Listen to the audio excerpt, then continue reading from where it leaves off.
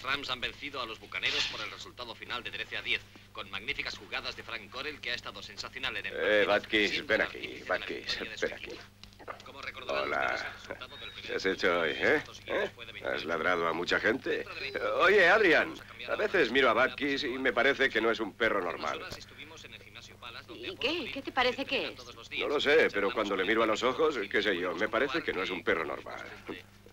Apolo, el actual campeón del mundo de todos los pesos, no estuvo precisamente remiso al hablar de Rocky Balboa. Sé que muchos de los que me están viendo quisieran que boxeara otra vez con ese tío tímido que se hace llamar el potro italiano, pero ese hombre no tiene suficiente sentido del honor, ese Balbuena o Balboa. ¿Cómo Escúchame, se recuerde ¿Cómo que te Rocky llamas, eh, Balboa potro? se ha retirado oficialmente.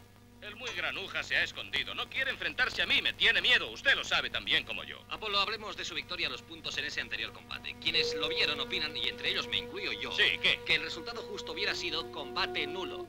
Es una opinión que no comparto, pero ahora estoy dispuesto a darle la revancha. Quiero demostrarle a ese tío novato la suerte que tuvo. No tiene arrestos para subir al ring. Si lo hiciera, no me duraría ni cinco minutos. Es un paquete. Por eso huye y se esconde. No quiere enfrentarse a mí. Así que te digo, Rocky Balboa o Potro o como te llames, el público americano sabe ahora y el mundo entero también que estoy dispuesto a pelear contigo donde sea.